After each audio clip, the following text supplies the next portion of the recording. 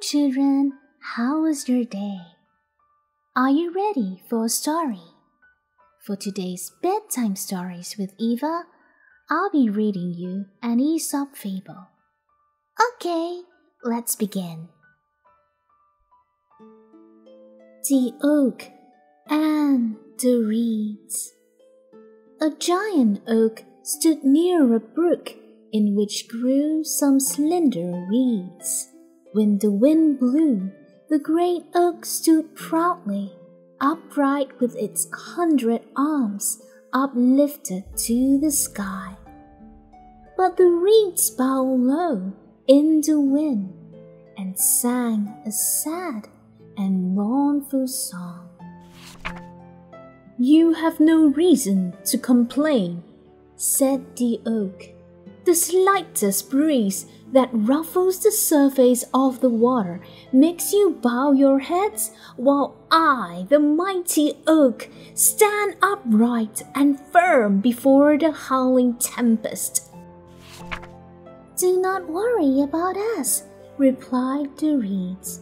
The winds do not harm us. We bow before them so we do not break.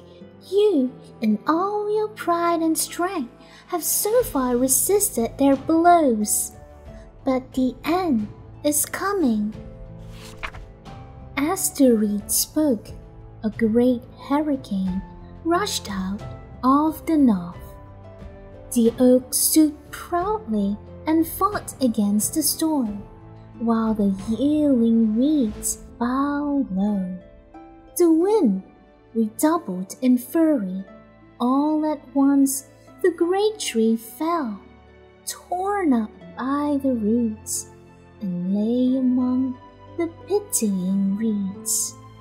The end.